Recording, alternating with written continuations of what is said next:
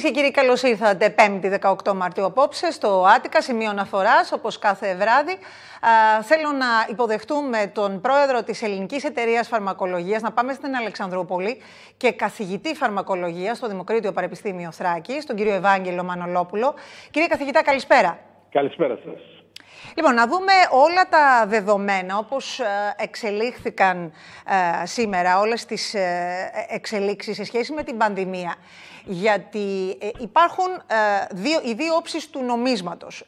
Το θέτω όπως το θέτουν και οι τηλεθεατές. Από τη μία έχουμε τεράστιο θέμα σε σχέση με τις μολύνσεις, το πώς ακριβώς έχουμε αύξηση των ε, κρουσμάτων, πολύ σημαντική. Έχουμε αύξηση των διασωληνωμένων και φυσικά ο κακός δείκτης, οι θάνατοι, οι νεκροί αυξάνονται στην χώρα μας.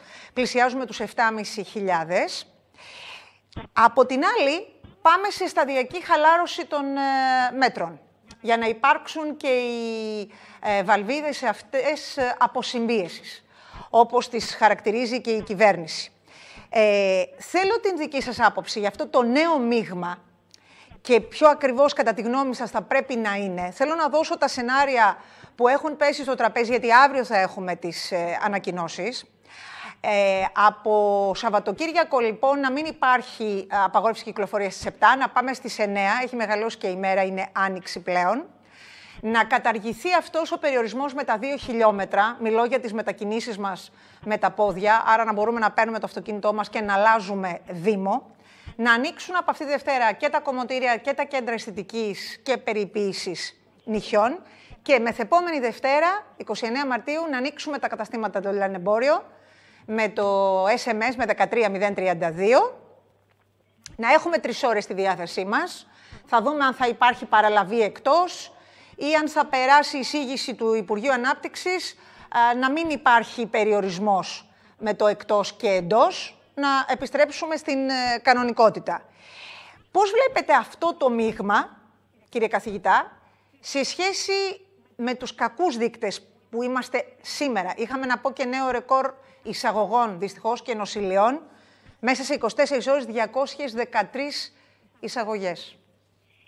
Ναι, πράγματι. Είναι νομίζω, θα πω τι γνώμη για το μείγμα, αλλά η συζήτηση αυτή είναι λίγο περίεργη όταν από τη μια μεριά έχουμε τα κρούσματα να αυξάνονται, τα άτομα στη μέση του να αυξάνονται, τους θανάτους να αυξάνονται και ακόμα αυτό που βλέπουμε σε επίπεδο μεθ και θανάτους αντανακλά τα κρούσματα πριν 10 μέρες. Άρα ε, τώρα που έχουμε περάσει πάνω από 3.000 ε, προβλέπεται να έχουμε μεγαλύτερη πίεση τις επόμενες ημέρες. Άρα δεν έχουμε δει ακόμα το, το χειρότερο όσον αφορά την πίεση στο σύστημα υγείας και τους θανάτους.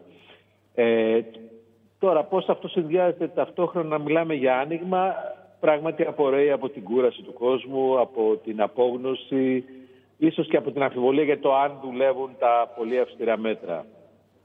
Κάποια από αυτά που είπατε και συζητιούνται έχουν μεγάλη λογική. Δηλαδή το 7 η ώρα να πάει 9, προφανώς το 7 είναι πολύ στενάχωρο και ουσιαστικά σπρώχνει προς την παρανομία, γιατί είναι πολύ δύσκολο να τηρηθεί. Ακόμα και τα δύο χιλιόμετρα είναι ένα επίσης πολύ δύσκολο και να επιβληθεί. Άρα, ξέρετε, μέτρα που δεν μπορούν να επιβληθούν ή να ελεγχθούν τελικά καταλήγουν να απλώς να, όλοι να τα παραβαίνουν. Ε, αλλά θα ήθελα να πω ότι γενικότερα το θέμα δεν είναι τι μέτρα θα πάρουμε ή δεν θα πάρουμε. Το θέμα είναι να αλλάξει λίγο η δική μας, αν είναι δυνατόν να αλλάξει λίγο η δική μας διάθεση και ψυχολογία παίρνοντα στα μέτρα. Δηλαδή να συνειδητοποιήσουμε ότι ακόμα δεν έχει τελειώσει τίποτα. Είμαστε στη χειρότερη φάση του πολέμου με τον κορονοϊό. Η προοπτική ότι θα τελειώσει ο πόλεμος, θα τελειώσει πράγματι. Είναι θέμα εβδομάδων, μέχρι τον Ιούνιο, ίσως το αργότερο. Θα έχουν μειωθεί όλα αυτά, αλλά μέχρι τότε είναι το θέμα πόσες απώλειες θα έχουμε. Άρα, πιστεύω ότι πρέπει να αλλάξει ο τρόπος που προσεγγίζουμε τα μέτρα, είτε αυτά που υπάρχουν, είτε αυτά που θα επιβληθούν, είτε θα πάψουν να επιβάλλονται. Πρέπει να τα τηρούμε. Ο καθένας μα πια έχει, έχει καταλάβει πολύ καλά πώς μεταδίδει το κορονοϊός. Άρα το θέμα είναι να, να μην κάνει τα πράγματα που μεταδίδουν. Δηλαδή, ανεξάρτητα από το αν μπορώ να κινηθώ 2 ή 5 ή 10 χιλιόμετρα, αν μέχρι τις 7 ή μέχρι τις 9, το θέμα είναι να μην πάω σε ένα σπίτι που είναι άλλοι 10, ακόμα και να αυτή είναι συγγενείς μου, να μην, πάω σε, να μην μπω σε, αν έχω την επιλογή σε ένα αυτοκίνητο, σε ένα μέσο συγκοινωνίας που έχει πάρα πολλούς άλλους επιβάτες, να μην συμμετέχουν σε μια διαδήλωση γιατί, που έχει πολλούς άλλους ανθρώπους, γιατί ξέρουμε ότι αυτοί είναι τρόποι που μεταδίδουν είτε είναι νόμιμοι είτε είναι παράνομοι. Και αν ο καθένας μας προσπαθήσει να κάνει την προσαρμογή και να τηρήσει τα μέτρα, αυτό είναι η... το αυτό που μπορούμε να κάνουμε για να... Ιδάλλως είναι μαθηματικό σίγουρο ότι ανοίγματα, άρα μεγαλύτερη χαλάρωση στην ψυχολογία μας θα φέρει περισσότερα κρούσματα. Λοιπόν, να δώσω μια πολύ σημαντική είδηση ε, σε σχέση με τον Ιατρικό Σύλλογο Αθηνών. Είναι γνωστό το ότι τα νοσοκομεία δέχονται αφόρητη πίεση, είναι σε εμπόλεμη ζώνη ουσιαστικά. Ο Υπουργός Υγείας έκανε ε, δραματική έκκληση. Ε, έχει δώσει, θα έλεγα, ένα τελεσίγραφο 48 ωρών και προς τους υπόλοιπους γιατρούς να ενισχύσουν το Εθνικό Σύστημα Υγείας, γιατί γίνεται πραγματικός πόλεμος. αν και εφόσον αυτό δεν γίνει, θα ζητήσει από τον Πρωθυπουργό ε, την επίταξη των ε, ιδιωτών γιατρών, ώστε να μπορέσουν να δώσουν όλοι μαζί τη μάχη. Ο Ιατρικός Σύλλογος Αθηνών, λοιπόν, ε, σε μια πολύ σημαντική ανακοίνωση προχώρησε. Απαλλάσσονται, λοιπόν, έχουμε απαλλαγή από την ετήσια συνδρομή όσοι οι ιδιώτες γιατροί στηρίξουν αυτή την ώρα το Εθνικό Σύστημα Υγείας. Η απαλλαγή αυτή, να πω ότι είναι πενταετής, θα ισχύσει για τα επόμενα πέντε χρόνια και ο πρόεδρος του Ιατρικού Συλλόγου Αθηνών και Περιφερειάρχης Αττικής, ο κ. Γιώργος Πατούλης, δήλωσε πως καλεί όλους τους ε, συναδέλφους του να ενισχύσουν αυτή τη στιγμή το ΕΣΥ. Είναι πάρα πολύ δύσκολες οι ώρες και να συνδράμουν κι αυτοί ε, με αυταπάρνηστη ώστε να σωθούν οι ανθρώπινες ζωές. Είναι πολύ σημαντική είδηση. Δίνονται κίνητρα στους ιδιώτες γιατρούς ε, προς όλες τις κατευθύνσεις για να γίνει η τεράστια ενίσχυση τώρα που χρειάζεται στα, στα νοσοκομεία. Πρέπει να πω ότι πάνω από 100 συμπολίτες μας είναι σε αναμονή για μεθ διασωληνωμένοι. Είναι πολύ δύσκολα τα πράγματα, κύριε καθηγητά. Ναι, είναι πολύ δύσκολα και δεν ξέρω αν. Είναι πολύ καλό αυτό το ότι δίνονται κίνητρα. Βέβαια. Αλλά λυπάμαι ότι η συζήτηση αν έχει φτάσει στο τι κίνητρα θα πάρουν κάποιοι για να συμμετέχουν σε μια προσπάθεια που είναι εθνική και είναι, ε, σας είπα, είναι συνθήκες πολέμου είναι, δεν νομίζω ότι θα έπρεπε να είναι αυτή η συζήτησή μας. Και δεν ξέρω αν θα λυθεί το πρόβλημα με το να προσθεθούν άλλοι 50 ή 100 ή 200 γιατροί ε, στο σύστημα υγείας. Πιθανόν θα βοηθήσει και αυτό, αλλά είναι, είναι μία πτυχή. Υπάρχουν πολλές πτυχέ που υστερούν αυτή τη στιγμή, που, αντικειμενικά λόγω του μεγάλου αριθμού κρουσμάτων. Και το μόνο που μπορούμε να κάνουμε είναι να προσπαθήσουμε όλοι ο καθένας μας να περιορίσουμε τη μετάδοση του ιού. Αυτό είναι περιμένοντα τα εμβόλια. Άρα η κυβέρνηση οδηγείται στο, στο άνοιγμα, στο σταδιακό άνοιγμα ε, της κανονικότητας, ας μου επιτραπεί η έκφραση, ε, ανοιχτή χώρη, ε, συνεχή αλλεπάλληλα ε, τεστ, ηχνηλάτηση, ε, μοριακά PCR τεστ, rapid test, ώστε να μπορούμε να βρούμε, να εντοπίσουμε και τους ασυμπτωματικούς και τις νέες μολύνσεις, τα κρούσματα. Θέλω να σας το θέσω αντίστροφα το ερώτημα. Αν τώρα ισχύει αυτό που λένε πολλοί συναδελφοί ότι αν ανοίξουμε τώρα, όπου είμαστε στην κορύφωση του τρίτου κύματος της πανδημίας και είναι η χειρότερη στιγμή, επελάβνει ο ιός, ο Παγκόσμιος Οργανισμός Υγείας λέει όχι μόνο στην Ελλάδα και στα Βαλκάνια και στην ε, κεντρική ε, Ευρώπη ε, υπάρχει ε, τεράστιο πρόβλημα, είναι ανησυχητική αύξηση των μολύνσεων. Ε, θα οδηγηθούμε, φοβούνται συνάδελφοί σας, σε πάνω από 100 νεκρούς την ημέρα. Άρα θα έπρεπε να πάμε, λένε, σε άλλο ένα lockdown, αυθεντικό όμως lockdown, ε, γνήσιο, να τηρηθεί και να δούμε από 18 Μαΐου και μετά από κλιμάκωση, κύριε καθηγητά. Συμφωνείτε; Και το 18 Μαΐου δεν ξέρω αν και αυτό μια αυθαίρετη ημερομηνία όπως όλες οι ημερομηνίες που συζητάμε ε, σε μεγάλο βαθμό τις τοποθετούμε αυθαίρετα και τελικά τις καταρρύπτουμε. Ε, είναι γεγονός ότι αν συνεχίσουμε με την ίδια ψυχολογία πραγματικά και ανοίξουμε και άλλα μέτρα θα έχουμε περισσότερα κρούσματα. Αν δεν γίνει κάτι και από την πλευρά της κυβέρνησης και από την πλευρά των πολιτών να αλλάξουμε νοοτροπία πραγματικά και η κυβέρνηση να επιβάλλει τα μέτρα. Γιατί το να παίρνουν μέτρα που δεν θα επιβληθούν ή που η αίσθηση είναι ότι είναι προαιρετικά, ε, απλώς θα χειροτερεύσουν τα πράγματα. Άρα είτε πάρθουν άλλα μέτρα, είτε μείνουν τα ίδια. Το θέμα είναι να βρεθεί ένας τρόπος και με την πυθό και με άλλους τρόπους να τηρήσουμε τα μέτρα, να συμμορφωθούμε περισσότερο γιατί ο ιός δεν καταλαβαίνει αποκούραση. Ε, μπορεί, είτε είμαστε κουρασμένοι είτε δεν αντέχει άλλο η κοινωνία. Ο ιός μεταδίδεται, μεταδίδεται πιο εύκολα λόγω των μεταλλάξεων. Αυτό είναι ένα γεγονός. Προκαλεί κάποιος από εμάς, μας στέλνει στα νοσοκομεία, μας ε, στερεί το οξυγόνο και αυτό δεν θα αλλάξει όσο κουρασμένοι και να είμαστε και όσο δίκαια και αν είναι τα αιτήματα αυτών που γίνουν στον δρόμο ή αυτών που κάνουν διάφορα πράγματα που, ή αυτών των νέων που θέλουν να ξεδώσουν. Όλα αυτά καλά, αλλά τα νούμερα είναι αμήλικτα και είναι κάθε μέρα αυξάνονται και το τριψήφιο νούμερο θανάτων δεν είναι απίθανο. Ε, αν συνεχίσουμε με τον ίδιο τρόπο, είναι πολύ πιθανό με βάση και το υλικό φορτίο που βλέπουμε στα λίμματα. Βέβαια. Ε, θέλω να, να περάσω στο, στο μόνο όπλο, το μοναδικό όπλο που έχουμε αυτή τη στιγμή, όλη η ανθρωπότητα. Μιλώ για το εμβόλιο. Μιλώ για τους εμβολιασμούς, κύριε καθηγητά. Ε, υπήρξε, δημιουργήθηκε το, το θέμα με το AstraZeneca. Και πρέπει να πω ότι είναι σε εξέλιξη η συνεδρίαση του Ευρωπαϊκού Οργανισμού ε, Φαρμάκων. Ε, θα δοθεί η θετική έγκριση. Ε, υπήρξε και χθες η ανακοίνωση από τον Παγκόσμιο Οργανισμό Υγείας, ο οποίος είπε στη, προς την Ευρώπη ότι συνεχίστε τους εμβολιασμούς. Τα ωφέλη είναι πολύ περισσότερα σε σχέση με τους κινδύνους και περιμένουμε αύριο Παρασκευή και τα πορίσματα από τον ΠΟΗ. Εδώ τι λέτε, γιατί υπήρξε πολύ μεγάλη ανησυχία και στην Ελλάδα. Συνεχίζουμε κανονικά, εμείς δεν αναστήλαμε τους εμβολιασμούς, όπως η πλειοψηφία των ευρωπαϊκών χωρών. Ναι, ε, ναι το ότι δεν αναστήλαμε τους εμβολιασμούς ε, τελικά απεδείχθη ότι ήταν καλό με την έννοια ότι πολλοί κόσμος πήγε και έκανε τα εμβόλια.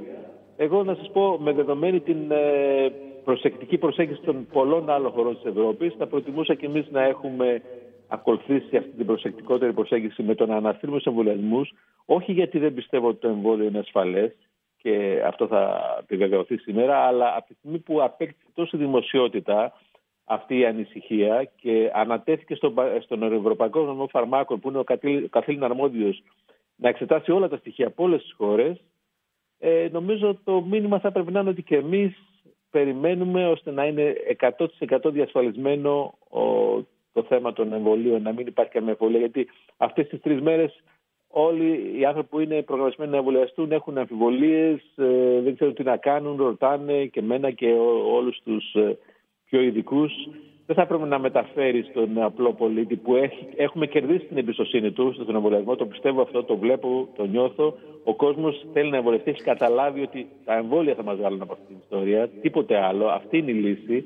Δουλεύουν τα εμβόλια μπήκε μια ανησυχία σε ευρωπαϊκό επίπεδο για ένα από τα εμβόλια. Είπαν πολλές κυβερνήσεις να δούμε, θα μας απαντήσει ο Ευρωπαϊκός Οργανισμός Φαρμάκων. Εγώ θα το θεωρούσα ότι από την πλευρά των, πώς να πω, των δημοσίων σχέσεων για τα εμβόλια θα ήταν καλύτερα να έχουμε κάνει και εμείς το ίδιο, αλλά δεν έχει και πολύ σημασία αυτή η συζήτηση γιατί τελικά είναι ασφαλές και ε, θα χρησιμοποιηθεί και αυτό θα συμβάλλει και αυτό στη, στο χτίσιμο της ανοσίας που τόσο πολύ επιδιώκουμε. Το εμβόλιο της Αστραζένικα εννοώ. Είστε ικανοποιημένος, κύριε καθηγητά, από την πορεία των εμβολιασμών, γιατί ακούσαμε σήμερα από τον Υφυπουργό Ψηφιακής Διακυβέρνησης να λέει ότι εντός Απριλίου, από τον επόμενο μήνα, θα έχουμε εμβολιαστεί 3 εκατομμύρια στην χώρα. Και από τον Ιούνιο ξεκινά ο εμβολιασμός του γενικού πληθυσμού όλων των υπολείπων μας, οι οποίοι δεν θα έχουν εμβολιαστεί μέχρι τότε. Αύριο Παρασκευή ανοίγει η πλατφόρμα για τις ευπαθείς ομάδες είναι 250.000 οι συμπολίτες μας. Και από την επόμενη ε, Παρασκευή, ε, δίνω και τις ακριβείς ημερομηνίες, 26 Μαρτίου ανοίγει η πλατφόρμα 7074,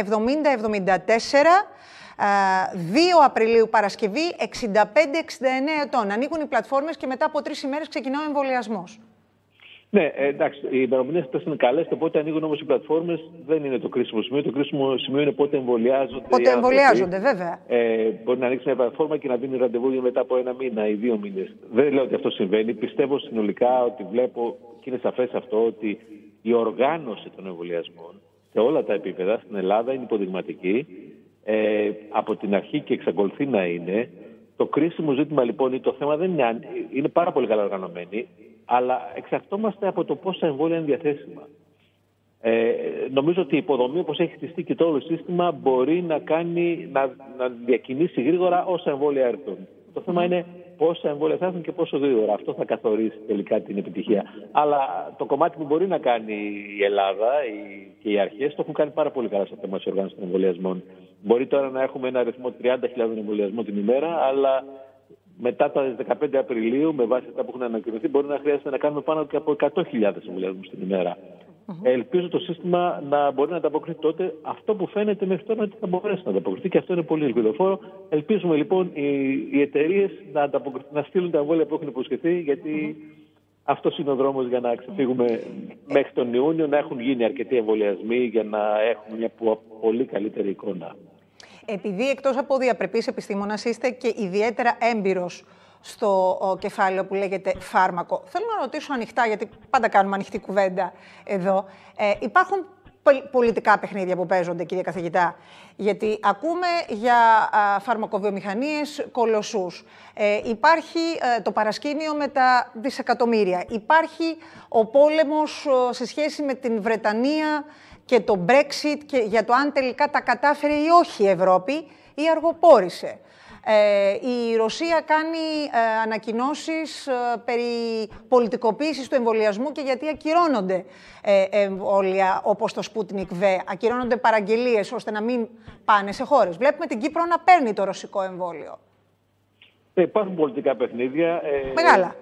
Υπάρχουν, αλλά δεν είναι καθοριστικός παράγοντας αυτός. Ε, mm κυρίως, ναι, αναφέρατε και με το εμβόλιο της Αστραζένεκα έχει γίνει αντικείμενο πολιτικών παιχνιδιών. Όχι τόσο, δεν νομίζω ότι είναι τόσο εμπορικό το θέμα. Είναι πολιτικά τα παιχνίδια. Δηλαδή το ναι. εμβόλιο της Αστραζένεκα έμπλεξε στην διαμάχη μεταξύ Βρετανίας και Ευρώπης με το Brexit. Το χρησιμοποίησαν οι Βρετανοί για να δείξουν ότι το, ενέκριναν πολύ γρήγορα. Έχουν, κάνουν, κρατάνε αρκετές δόσεις για τον εαυτό τους, ε, γιατί είναι Βρετανική εταιρεία και Βρετανικό εμβόλιο ε, για να δείξουν ότι τα πλεονεκτήματα του τη βγήκαν από την Ευρώπη. Ε, η, από την άλλη μεριά η Ρωσία επίσης νομίζω κάνει παιχνίδι με το εμβόλιο το, το Sputnik γιατί δεν είναι, το Sputnik είναι ένα καλό εμβόλιο αλλά ναι. η Ρωσία δεν έχει κάνει τις κινήσεις τις αποφασιστικές και τις σωστές για αν ε, ήθελε να το πουλήσει στην Ευρώπη θα έπρεπε να έχει ζητήσει έγκριση πολύ νωρίτερα. Ζήτησε τώρα, είναι σε διαδικασία και θα εγκριθεί σύντομα. Και θα έπρεπε να, έχει, να, να, ε, να μας έχει, να έχει δηλώσει όπως κάνουν και όλες πόσα εμβόλια μπορεί να δώσει στην Ευρώπη και πότε. Αυτό που κάνει η Ρωσία μέχρι τώρα είναι προσπαθεί να, να διασπάσει αν θέλετε την Ευρώπη και να κάνει συμφωνίες με συγκεκριμένες χώρες στέλνει λίγα εμβόλια εδώ, λίγα εμβόλια εκεί και περνάει την εικόνα ε, μιας Ευρώπης διασπασμένης. Άρα, πράγματι η Ευρώπη έχει κάνει λάθη. Η όλη ιστορία των εμβολίων έχει πληγωθεί. Ε, αλλά δεν νομίζω ότι θα. Αλλά στη συνολικά έχει, μας έχει διασφαλίσει εμάς στην Ελλάδα τουλάχιστον καλές συμφωνίες, πολλά εμβόλια. Δεν νομίζω θα ήμασταν καλύτερα αν θα εξαρτώμασταν από τις διάφορες χώρες με τα παιχνίδια τους πόσα εμβόλια θα μας δώσουν και πότε. Είναι καλύτερα από τώρα είμαστε με αυτή την ομπρέλα της Ευρώπης και με όλα τα λάθη της ε, θα προχωρήσουμε μαζί και θα έχουμε τελικά επιτυχία. Αλλά πράγματι κάποιοι έχουν βρει ευκαιρία και χτυπάνε την Ευρώπη, έχουν, βρήκαν μια δυναμία της Ευρώπης και την εκμεταλλεύονται. Ναι. Ε, κύριε καθηγητά, ε, στο επίπεδο της αντιμετώπισης της φαρμακευτικής, ε, ρωτούν πολλοί, τα μονοκλονικά αντισώματα δεν θα μπορούσαμε να τα χρησιμοποιήσουμε και στην Ελλάδα τι ακριβώς γίνεται με το φάρμακο με το οποίο θα συνεργαστούμε με τους Ισραηλινούς; Ε, μιλώ για το φάρμακο το οποίο είχε δείξει ο κύριος ναι. Νετανιάχου και πώς ακριβώς μπαίνει και η Ελλάδα ε, στην συνεργασία αυτή. Γιατί ε, έχετε γνώση. Ε, τι λέτε; Ναι, είναι λύσεις. Το καθένα είναι μια διαφορετική περίπτωση. Τα φάρμακα, ξέρετε, είναι πολλά. Ναι. Η νόσος έχει πολλές φάσεις και δεν, δεν, δεν είναι δύσκολο να έχουμε ένα φάρμακο που θα αντιμετωπίσει όλες τις φάσεις. Κάποια φάρμακα είναι καλά για την έναρξη, κάποια στη μέση της νόσου, κάποια στους σοβαρούς ασθενείς. Λοιπόν, ε, κάποια φάρμακα ήδη χρησιμοποιούμε όπως τα, τα κορτικοστοροειδή στην, ε, στη σοβαρή, σοβαρή νόσο. Ναι. Υπάρχει η κολχικίνη που είναι για νωρίτερα ε, και τη δοκιμα... δοκιμάστηκε αυτή βέβαια, είναι υπό μελέτη. Το φάρμακο mm-hmm. από το Ισραήλ επίσης, αυτό που είχε ανακοινωθεί τότε είναι ότι θα συμμετείχε και η Ελλάδα σε μια κλινική μελέτη. Με μερικ... Είναι νωρίς ακόμα. Νομίζω ότι πρέπει να ξεκινήσει αυτή η μελέτη. Δεν είχαμε κάποια ενημέρωση μετά από αυτή την αρχική ε, συζήτηση. Πιστεύω ότι προχωράει η μελέτη. Κάποια στιγμή θα ακούσουμε αποτελέσματα ναι. από εκεί. Ελπίζω να είναι ελπιδοφόρα, αλλά είναι στα πλαίσια μελέτη. Τώρα, τα μονοκλονικά αντισώματα είναι μια άλλη ιστορία. Γιατί τα μονοκλονικά ναι. αντισώματα έχουν πάρει έγκριση από το Ευρωπαϊκό. Πλέον έχουν πάρει έγκριση ε, από το Ευρωπαϊκό, τον Ευρωπαϊκό Οργανισμό Φαρμάκων. Άρα θα μπορούσαν να χρησιμοποιηθούν και πράγματι μπορούν να βοηθήσουν σε άτομα νωρίς όταν αρχικά ε, γίνονται θετικοί στον κορονοϊό και Ναι. για να μην νοσήσουν σοβαρά. Δεν, δεν προστατεύει όλους, αλλά έχει ένα καλό ποσοστό, ιδίως στους τρεις πιθανών που θα νοσήσουν σοβαρά, δεν θα νοσήσουν αν, έχουν, αν τους χωρηθεί το αντίσωμα εγκαίρως. Ε, σε αυτό έχουμε, έχει καθυστερήσει. Έχουμε καθυστερήσει, θα μπορούσαμε να, να έχουμε και να τα χρησιμοποιούμε ήδη. Οι δικαιολογίες δεν έχουμε πια, γιατί εγκρίθηκε. Είναι βέβαια ακριβό, έχει δυσκολίες στη χορήγηση, γιατί Ναι. πρέπει να χορηγηθεί στο νοσοκομείο. Παίρνει μια ώρα περίπου, μια δόση είναι, αλλά σε δύο ώρες έχουμε άτομα που είναι, έχουν γίνει θετικοί στον κορονοϊό, αλλά είναι υγιείς, δεν έχουν συμπτώματα και αυτοί πρέπει να πάνε σε, σε ένα νοσοκομιακό χώρο και να μείνουν για μια ώρα να τους χορηγηθεί το φάρμακο. Κάτι που έχει φανεί στις ΗΠΑ που έχουν ε, αρκετά, τα χρησιμοποιούν, ότι έχει μειώσει τον αριθμό των ατόμων που πάνε. Δεν, δεν έχουν και δεν τα χρησιμοποιούν σε πολλές περιπτώσεις, γιατί Ναι. είναι δύσκολο να γίνει όλο αυτό πρακτικά. Αλλά έχοντας πει αυτό, θα έπρεπε να τα έχουμε πάρει ήδη. Ε, Σε αυτό έχουμε καθυστερήσει από ό,τι έχει ανακοινωθεί επίσημα. Περιμένουμε Γι' να αυτό γίνει σας το μια ρωτώ. συνολική παραγγελία από την ε, Ευρωπαϊκή Ναι. Ένωση. Ε, εγώ θα, προτιμ... θα έλεγα όμως ότι αν αργήσει η Ευρωπαϊκή Ένωση, κάποιες χώρες έχουν προχωρήσει και έχουν κάνει συμφωνίες μόνες τους. Να Και κινηθούμε, δεν- λέτε, Βέβαια, με αυτονομία. Είναι, είναι και αυτό ένα μήνυμα στο οποίο θα μπορούσαμε να έχουμε κινηθεί πλέον εδώ και ίσως ένα μήνα. Ναι. Από την εμπειρία που έχουμε ε, στην ε, Βρετανία και στο Ισραήλ, κύριε καθηγητά, όπου εκεί έχουν τρέξει ε, σε πιο γρήγορους ρυθμούς τους εμβολιασμούς και έχει εμβολιαστεί ε, πολύ περισσότερος πληθυσμός. Ποια είναι η εικόνα που έχουμε στο αν τελικά ε, νοσούν στην πορεία, στο ποιοι ε, γλιτώνουν τη διασωλήνωση, γιατί ρωτούν πολλοί γιατί στην Ελλάδα είμαστε σε αυτή την δραματική κατάσταση τούτη την ώρα, ώστε να έχουμε τόσες εισαγωγές νοσηλίες και οι περισσότεροι συμπολίτες μας που πια γίνεται η διακομιδή στο νοσοκομείο να πρέπει να διασωληνωθούν στις ε, ΜΕΘ. Δηλαδή εδώ Ε, τι α, φταίει; Ναι, Φταίνε ε, οι αυτοί άνθρωποι μεταλλάξεις, δεν κύριε είναι- δεν είναι καθηγητά; εμβολιασμένοι, Έτσι, να είναι σαφές. Οι άνθρωποι που μπαίνουν στη ΜΕΘ δεν είναι εμβολιασμένοι. Στην, ε, στη Βρετανία και στο Ισραήλ που έχουν πάρα πολλούς εμβολιασμένους έχουν μειωθεί δραματικά. Στην Αγγλία είναι Βέβαια. εντυπωσιακή η εξέλιξη. Πάνε Βρέθηκε πάρα πολύ από, καλά. Από το να είναι η χειρότερη χώρα σε νούμερα, μέσα σε δύο μήνες έχει φτάσει να έχει κρούσματα περίπου όσα εμείς τώρα, 5-6 χιλιάδες και θανάτους σε λίγο θα έχουμε περίπου. Έχει πέσει γύρω στους 100 και παρακάτω. Από εκεί που είχε πάνω από 1.500 και 2.000 μέχρι πριν από ένα μήνα. Έχει επέλθει μια δραματική αλλαγή γιατί έχουν φτάσει να έχουν εμβολιάσει περίπου το 30% του πληθυσμού. Στο Ισραήλ ε, ακόμα καλύτερα. Ναι. Ε, άρα εμείς εδώ δεν μπορούμε να... Το εμβόλιο αρχίζει και φαίνεται η επίδρασή τους στους ηλικιωμένους. Αυτό που θα ακούσετε από πολλούς που είναι στα νοσοκομεία, που δουλεύουν στα νοσοκομεία γιατρούς, ότι έχουμε πια λιγότερους, πολύ λίγους ηλικιωμένους άνω των 80 που Ισχύει. ήταν σε προηγούμενες φάσεις. Οι μέσεις ήταν Ισχύει. γεμάτες με τους πολύ ηλικιωμένους και οι θάνατοι ήταν αυτά τα άτομα. Τώρα αυτή η ηλικιακή ομάδα που έχει εμβολιαστεί σε μεγάλο ποσοστό έχει σχεδόν πάψει να έχει εξαφανιστεί από τις μέτρες. Δεν, δεν εισάγονται ακόμα και αν γίνουν θετικοί, περνάνε την νόσο ελαφρά. Αυτό εκεί φαίνεται η επιτυχία του εμβόλιου. Επίσης υγειονομική. Δεν ακούτε συχνά τώρα για θανάτους γιατρών, ε, από τις- έτσι, γιατί έχουν εμβολιαστεί. Αλλά μόνο εκεί μπορούμε να δούμε τη θετική επίδραση των εμβολίων. Πρέπει, για τα υπόλοιπα πρέπει να εμβολιαστούν περισσότερο. Δεν έχουν εμβολιαστεί πολλοί άνθρωποι. Ε, αυτό ελπίζουμε ότι θα γίνει και σίγουρα θα γίνει όταν θα έχουμε εμβολιάσει πάρα πολλούς και θα έχει περάσει βέβαια και ο μήνας που χρειάζεται για την ανοσία. Στην Άρα, πορεία. Άρα τον Ιούνιο, προς το τέλος Ιουνίου, νομίζω, ε, αν ε, έχουν εμβολιαστεί αυτοί που περιμένουμε να εμβολιαστούν με βάση τους αριθμούς των εμβολίων που περιμένουμε, θα έχουμε μια πολύ καλύτερη εικόνα τύπου Βρετανίας. Για τους εμβολιασμούς αυτό των παιδιών ρωτούν πολλοί γονείς, κύριε καθηγητά, επειδή γίνονται και κλινικές μελέτες, για να προχωρήσουμε και στον εμβολιασμό παιδιών κάτω των ε, 16. Αυτή τη στιγμή είμαστε από 16 Και πάνω, ε, ναι. και άνω. Εδώ πού βρισκόμαστε; Όχι, αυτό είναι σε εξέλιξη. Αυτή τη στιγμή δεν, Ναι.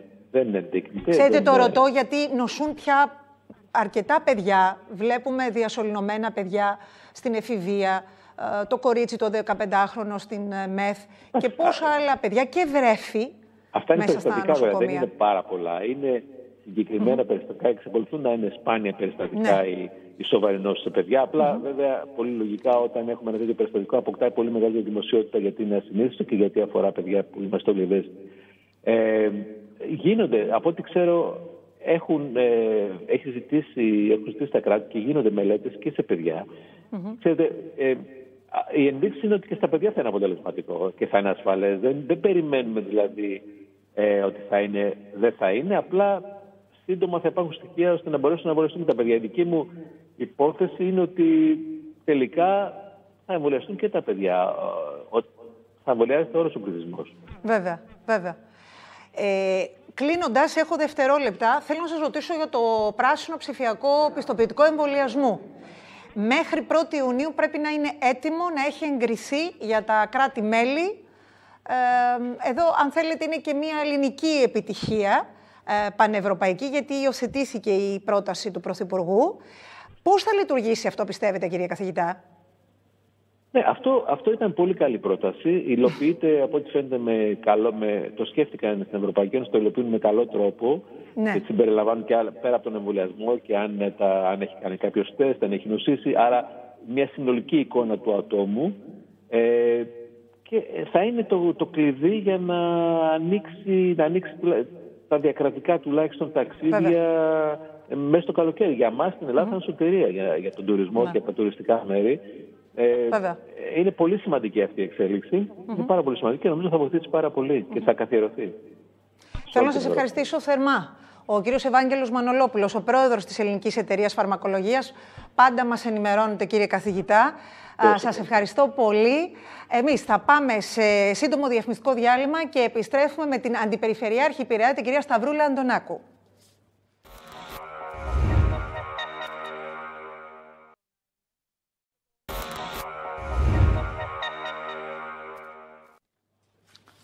Λοιπόν, ε, επιστρέψαμε πριν συνδεθούμε με την Περιφερειακή Ενότητα Πειραιά, η Αντιπεριφερειάρχης Πειραιά απόψε στο σημείο αναφοράς, η κυρία Σταυρούλα Αντωνάκου. Α, θέλω να δώσω δύο πολύ σημαντικές ειδήσεις. Είχαμε χθες ε, ειδική συνεδρία του Περιφερειακού Συμβουλίου ε, και δήλωσε ο Περιφερειάρχης πως για την ενίσχυση της ε, δημόσιας υγείας, μιλώ για τον απολογισμό των πεπραγμένων για το 2020, για την ενίσχυση λοιπόν της ε, δημόσιας υγείας, για να στηρίξει τα δημόσια νοσοκομεία, τους δημόσιους οργανισμούς υγείας, η Περιφέρεια Αττικής από ίδιους πόρους, από τα ΕΣΠΑ και από το ΠΕΠ Αττικής, ε, έχει ενισχύσει τη δημόσια υγεία με πάνω από μισό δισεκατομμύριο ευρώ. Είναι πάνω από 500 εκατομμύρια με τα οποία ενισχύει η Περιφέρεια Αττικής το Εθνικό Σύστημα Υγείας και την δημόσια υγεία, κυρίες και κύριοι, είναι πολύ σημαντικό γιατί συζητάμε για την καταπολέμηση, για την αναχέτηση της πανδημίας.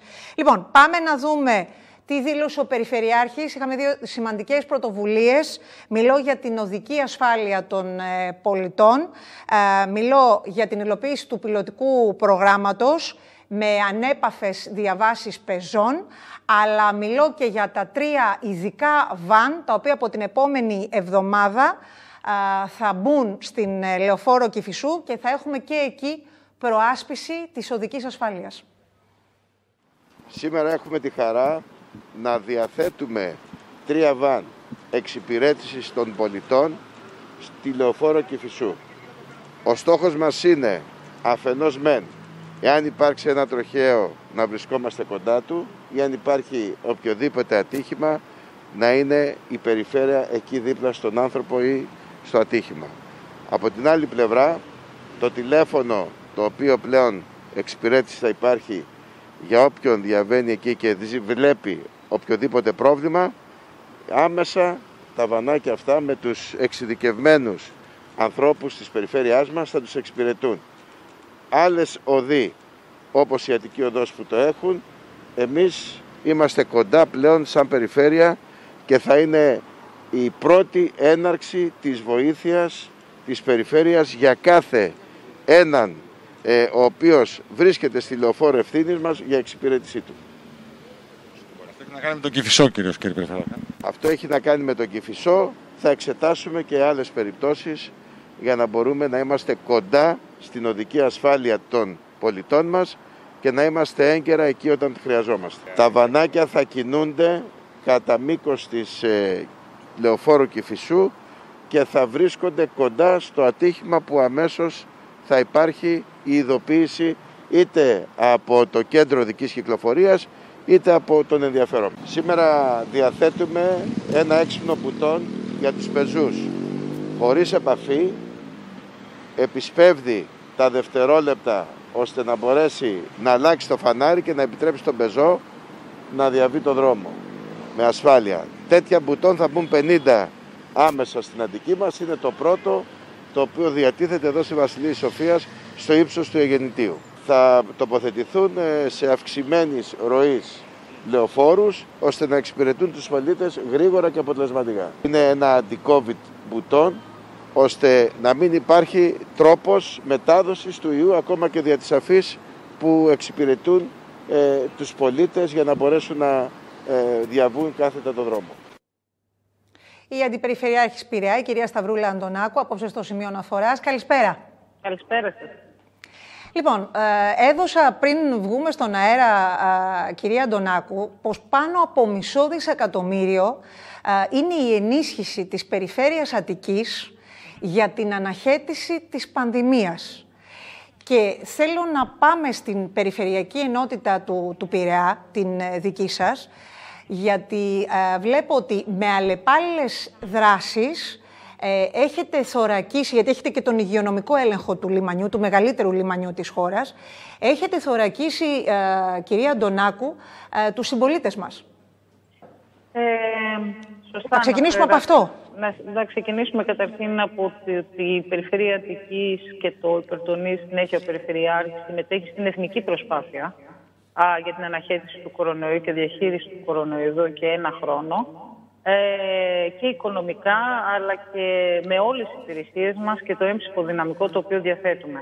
Ε, σε αυτή την περίπτωση, στην Περιφερειακή Ενότητα Πειραιά, ε, που έχει μητροπολιτικά χαρακτηριστικά, αλλά και το μεγαλύτερο λιμάνι της χώρας και της Μεσογείου, το οποίο να σημειώσουμε ότι έχει κλείσει ουσιαστικά στο να υποδέχεται κόσμο από το εξωτερικό, α, είτε πληρώματα, είτε για τροφοδοσία α, που ερχόντουσαν πλοία από το εξωτερικό, έκλεισε μόνο για 15 μέρες. Δηλαδή σημαίνει ότι τον ένα χρόνο και παραπάνω που διανύουμε της παγκόσμιας πανδημίας, έτσι.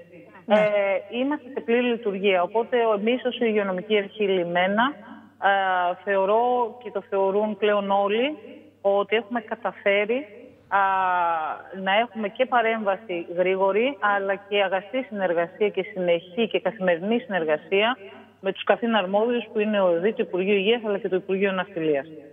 Ναι, και πρέπει να σας δώσω συγχαρητήρια, γιατί μιλάμε για το μεγαλύτερο λιμάνι της χώρας, μιλάμε για τον Πειραιά, την μεγαλύτερη πόλη μετά την Αθήνα και φυσικά μιλάμε για ένα, μία από τις μεγαλύτερες περιφερειακές ενότητες στην επικράτεια. Μιλώ και για οικονομική δραστηριότητα, για την συνεισφορά και για την εμπορική. Είναι πολύ σημαντικό. Άρα εδώ υπάρχει ένας εθνικός στόχος, ο οποίος επετεύχθη, κυρία Αντωνάκου. Έως και σήμερα, ε, δόξα τω Θεώ, ο στόχος επετεύχθη ώστε τουλάχιστον α, να νιώθουν ασφαλείς και οι πολίτες γιατί τα χαρακτηριστικά της ε, Περιφερειακής Ενότητας Πειραιά είναι από το πέραμα μέχρι τον Πειραιά, χωρικά και από εκεί και πέρα ξέρουμε ότι στο πέρασμα λειτουργεί η μεγαλύτερη ναυτικοεπισκευαστική ζώνη α, της χώρας. Ε, το λιμάνι του Πειραιά, σωστά το είπατε, φέρνουν το μεγαλύτερο λιμάνι της χώρας και της Μεσογείου. Είναι και η δεύτερη μεγαλύτερη πύλη εισόδου της Ελλάδας.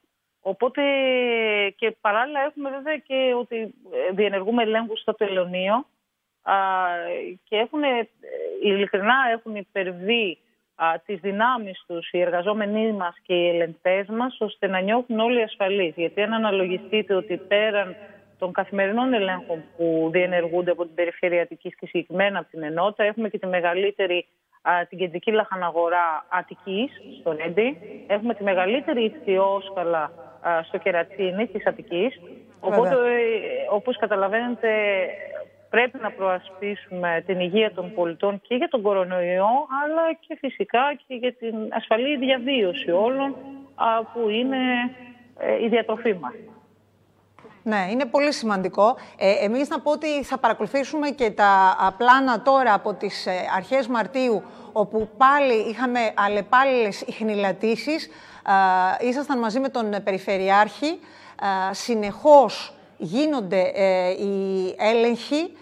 θα παρακολουθήσουμε τα πλάνα, να ζητήσω από το σκηνοθέτη μας, όπου μαζί για ακόμα μία φορά γιατί και ο Πειραιάς φυσικά έχει πρόβλημα με αυξημένο υλικό φορτίο και με τις ε, μολύνσεις.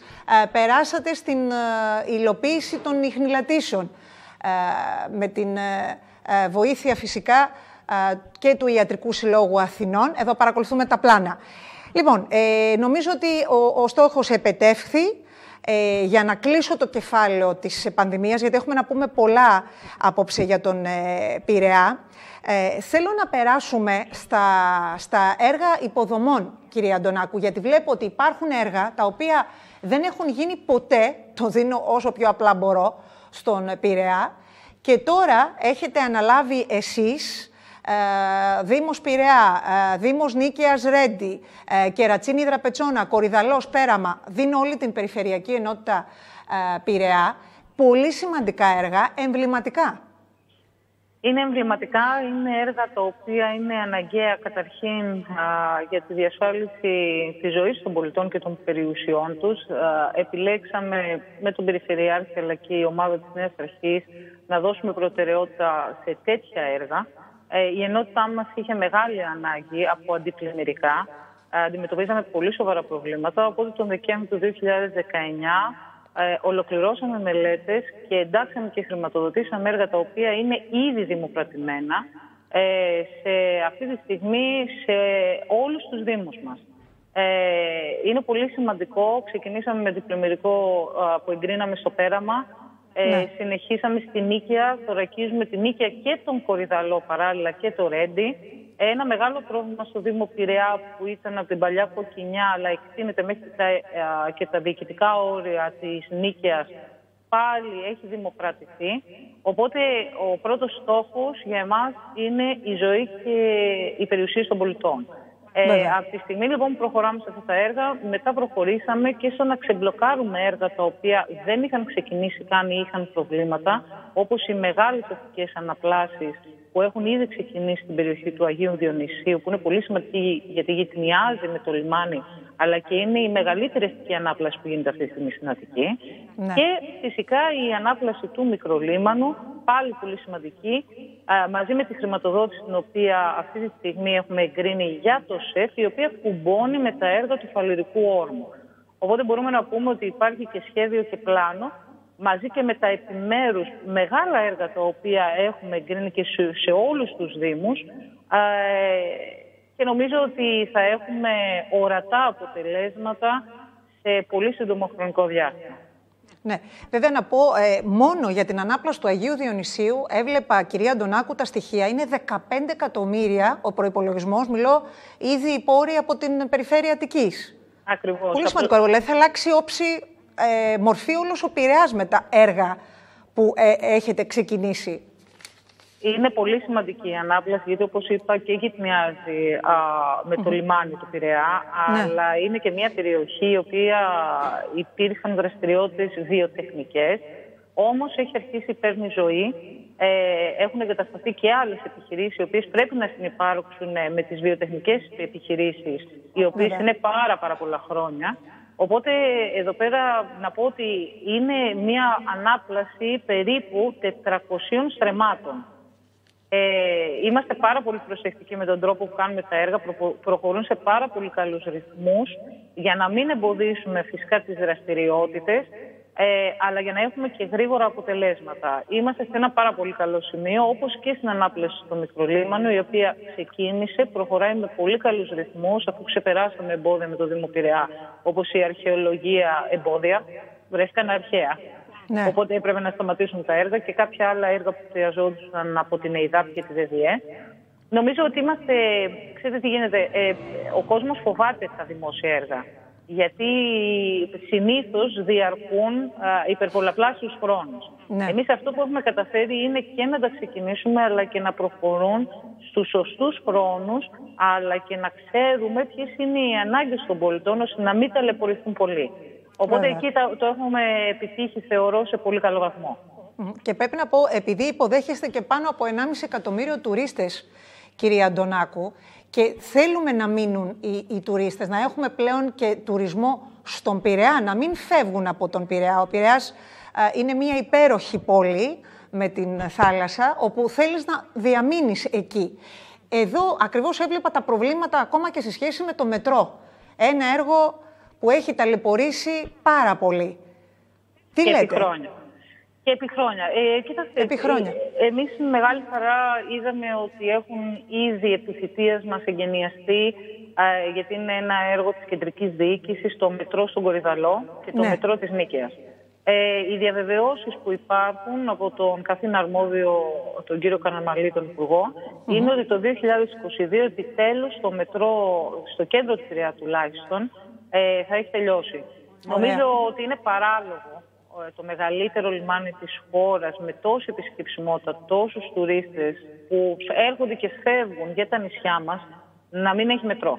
Οπότε θεωρώ ότι πρέπει να είναι ε, η προτεραιοποίηση αυτή τη στιγμή για να τελειώσει το μετρό του Πειραιά ε, πρέπει να είναι η προτεραιότητα. όλων. Βέβαια. Βέβαια. Σας άκουγα ε, να λέτε πως δεν μπορούσαν να χάνουν τα τρένα οι τουρίστες ε, για, τη- για την πτήση. Δηλαδή, Ακριβώς. Ε, Ε, χάνουν απίστευτο. τις πτήσεις τους. Χάνουν τις πτήσεις τους, χάνουν τα καράβια τους. Γιατί δεν μπορείς να υπολογίσεις την κίνηση και την επιβάρυνση που υπάρχει ιδιαίτερα Βέβαια. τους καλοκαιρινούς μήνες. βέβαια, βέβαια.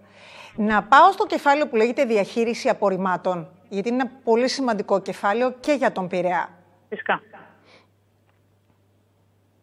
Εδώ ποιος είναι ο προγραμματισμός, κυρία Αντωνάκου; Σε λίγες ημέρες το έχει προαναγγείλει και ο Περιφερειάρχης Ναι. ότι θα έχουμε το νέο ΠΕΣΔΑ.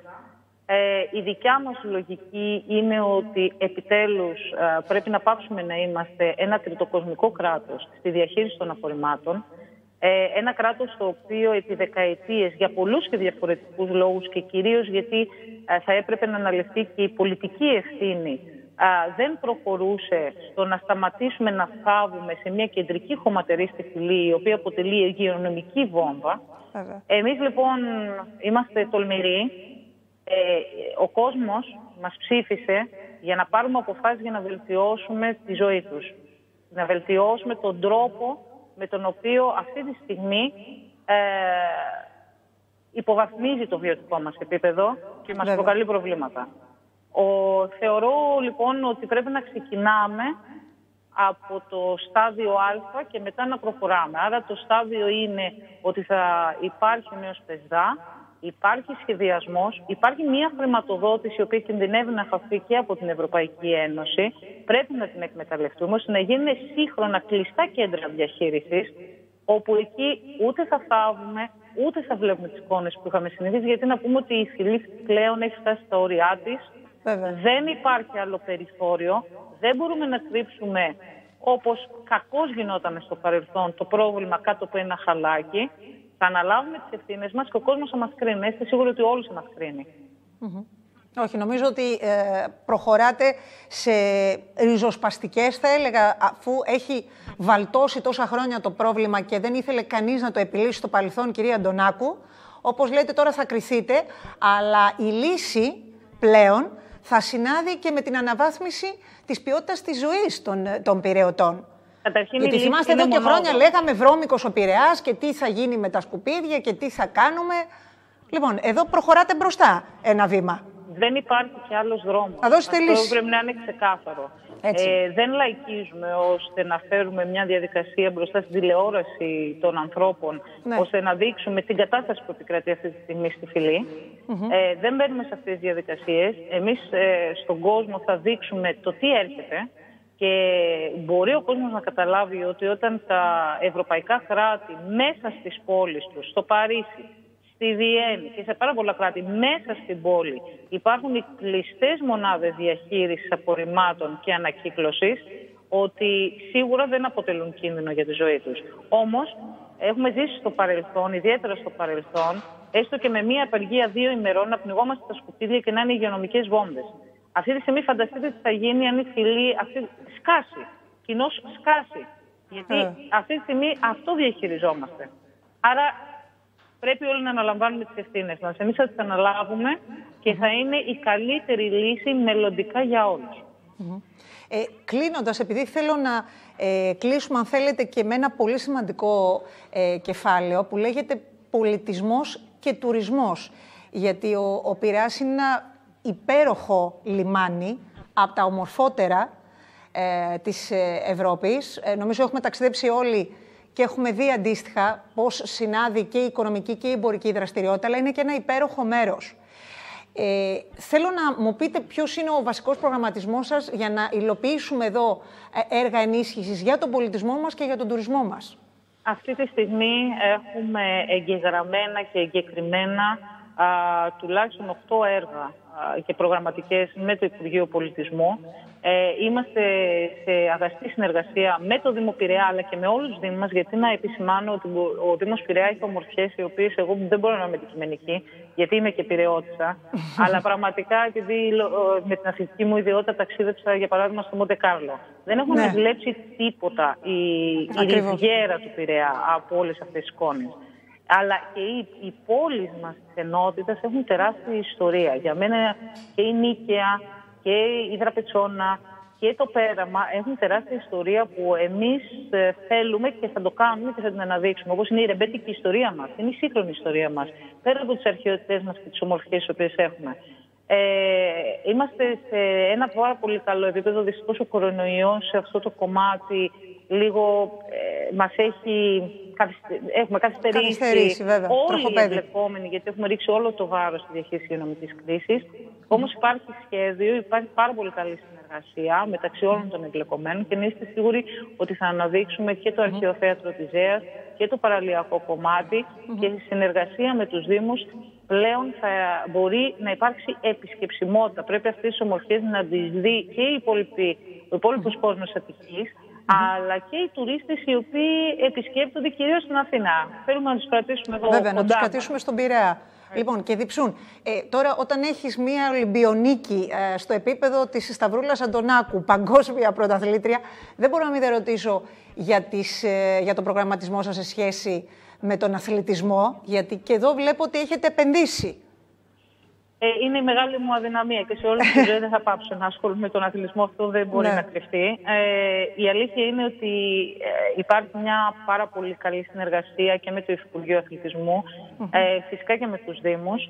Ήδη ε, υπάρχουν πάρα πολλά έργα αρκετών εκατομμυρίων σε όλη την Αττική για την αναβάθμιση, ανακαίνιση αλλά και τη δημιουργία νέων αθλητικών εγκαταστάσεων. Στη δικιά μας ενότητα Ήδη προχωράμε σε ένα σύγχρονο κολυμβητήριο, πράσινο κολυμβητήριο με, ενεργειακή, με τις πιο σύγχρονες ενεργειακές εγκαταστάσεις. Ήδη εμείς ε, καταφέραμε μετά από τουλάχιστον τρεις περιφερειακές αρχές οι οποίες είχαν προσπαθήσει να λύσουν ένα πρόβλημα με το γήπεδο Καπαγέρο ναι. στην περιοχή εδώ του Αγίου Διονυσίου να ξεμπλοκάρει αυτό το σημαντικό έργο για την ευρύτερη περιοχή του Πειραιά. Το ξεμπλοκάραμε και σε ένα μήνα από τώρα δημοπρατούμε και είμαι πάρα πολύ χαρούμενη γιατί, να ξέρετε, τα 18 χρόνια που έκανα προπόνηση δίπλα ακριβώς, ε, πραγματικά με στεναχωρούσε πάρα πολύ ότι ένα τέτοιο στολίδι, το οποίο ήταν η, η έδρα του, του Ολυμπιακού, του Ιωνικού Νικαίας σε ένδοξες εποχές, καταστράφηκε.